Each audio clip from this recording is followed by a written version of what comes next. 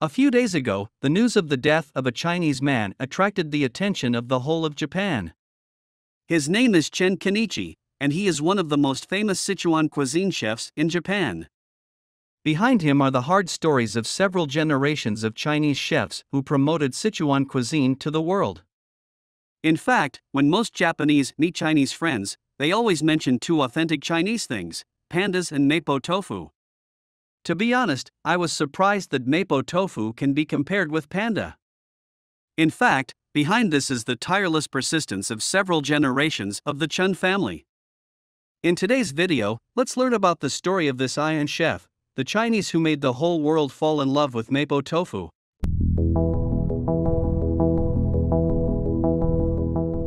Chen Kenichi is the second successor of the well known Chinese restaurant Sichuan Restaurant in Tokyo. He is regarded as the promoter of Japanese mapo tofu. After the obituary was issued, all Japan, from cartoonists to ordinary people, began to mourn spontaneously. Some Japanese media called him a great man. Atsushi Ogawa, the manga author of True Cooking Master Boy, posted an article recalling that he was shocked by Chen Kenichi's handsome cooking style, so he created the plot of the protagonist of True Cooking Master Boy cooking Mapo Tofu. He not only watched Chen Kenichi's videos many times, but also bought many of his books. The video that Ogawa mentioned is the food competition show Iron Chef that Chen Kenichi participated in that year. The program invites famous chefs from all over the world to come to the competition, cook according to the theme ingredients of each issue, and finally judge the Iron Chef according to the scores of special guests and professional gourmets.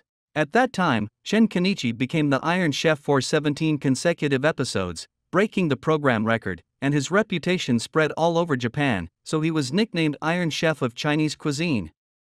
From 1993 to 1999, he held a record of 63 wins and 17 losses on this show, impressing the Japanese housewife community. In fact, Chen Kenichi's father, Chen Kenmin, was the founder of Sichuan Restaurant, and it was he who brought Mapo tofu to Japan. Chen Kenmin's story is full of legends.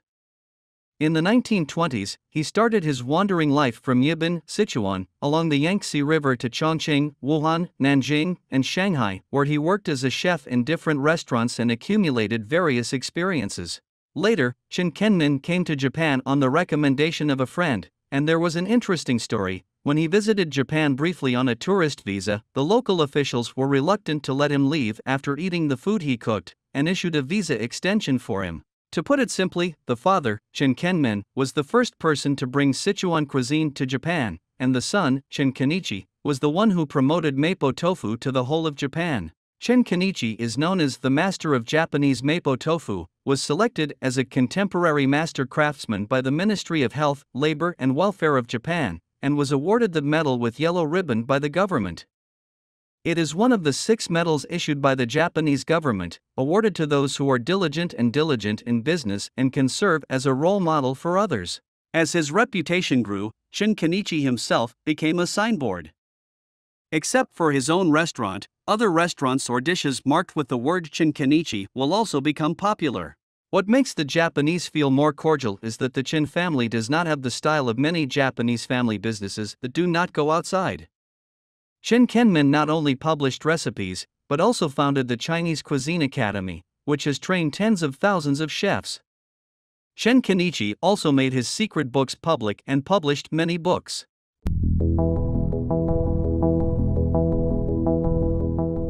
The traditional Sichuan cuisine mapo tofu tastes spicy, but it does not meet the light taste of the Japanese. After bringing the mapo tofu to Japan, Chen Kenmin and Chen Kenichi made continuous improvements. Chen Kenmin first replaced Sichuan peppercorns with pepper and replaced bean paste and sweet noodle sauce with hatcho miso, which reduced the spiciness of mapo tofu. Later, Chen Kenichi replaced the beef with pork. The improvement of the dishes by the father and son is not limited to mapo tofu. Chen Kenmin replaces the garlic sprouts needed for the well known twice cooked pork in Sichuan cuisine with cabbage that is easier to buy in Japan, and the spiciness is also reduced by 20 to 30%. Dandan noodles are originally dry noodles, but the Japanese are used to soup noodles, and soup is added to dandan noodles to conform to the local eating habits.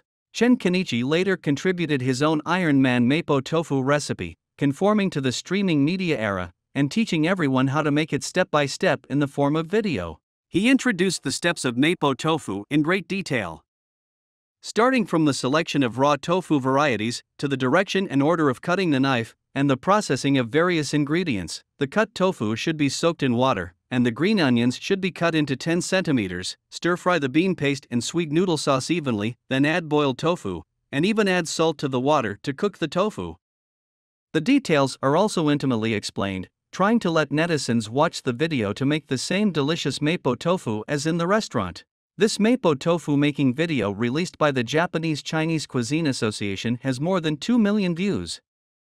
The hands on teaching made Japanese netizens choose to eat Mapo tofu in this spontaneous commemoration of Chen Kenichi. Such efforts were not in vain. Mapo tofu has gradually become a national dish in Japan, and many chefs have created new branches. In order to meet these needs, the Japanese market also launched Mapo tofu cooking packets that are easy to cook in the early years. The Japanese variety show the world unknown to Matsuko once bought back 76 kinds of Mapo tofu seasoning packets in a program.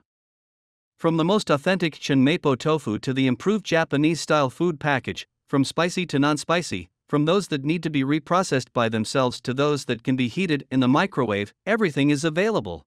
Among the fans captured by Mapo Tofu in Japan are countless celebrities. The famous Japanese actor Ken Takakura loved Mapo Tofu during his lifetime. Tomohisa Yamashita did not forget to take a photo with Mapo Tofu when he traveled to China. In Japanese film and television dramas, Mapo Tofu also appears frequently.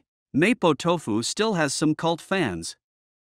The world unknown to Matsuko interviewed Ryo Fujisaki, who is a drummer by profession. When he was 20 years old, he bought authentic Mapo tofu buns in a Chinese supermarket in Tokyo. Since then, he has fallen in love with Mapo tofu and eats Mapo tofu at least four days a week. Driven by him, the host Matsuko Derakusu couldn't help saying that he should eat Mapo tofu for the last meal before he died. The Japanese's obsession with Mapo tofu even combined with the support culture, which gave birth to a fan group. For their favorite Mapo tofu, these fans spared no effort to promote it in Japan, and spontaneously held the Sichuan Cuisine Festival to plan activities for well known Sichuan restaurants to compete for the title of the strongest Mapo tofu. Among them, the most hardcore Sichuan cuisine fans directly caught up with Sichuan, only for the most authentic Mapo tofu. This is not an isolated case. In fact, after Sichuan cuisine has formed a subtle food culture overseas, it has also begun to feed back China. Many overseas Sichuan cuisine lovers come to China for travel, study, and work because of this, and some fanatical fans even start to seek their roots and come to China just to taste the authentic taste of their favorite dishes. Korean gourmet Baek Jongwon came to Chengdu as the first stop in his food show Street Food Fighter. The first meal was, of course, authentic Mapo tofu. From the moment the tofu was brought to the table, he couldn't help smiling, and when the tofu was mixed with rice, he grinned to his ears. The sincere deliciousness is really hard to pretend. Comparable to the overseas popularity of Mapo tofu is Kung Pao chicken. There was once an American fanatic who traveled thousands of miles to China in order to taste the authentic Kung Pao chicken. A German student said in an interview that because of his deep impression of Kung Pao chicken, the first thing he did when he came to China was to go to a restaurant to eat this dish. Even though there are many Chinese people who are overwhelmed by the Japanese sweet mapo tofu, no matter how they are improved, these Sichuan dishes can always gain a lot of iron fans all over the world. The most important reason is Sichuan cuisine is so delicious. Well, thanks for watching. If you have any suggestions, just leave them in the comments section. We'll come back as soon as possible and check them, and then we'll give feedback. See you next time.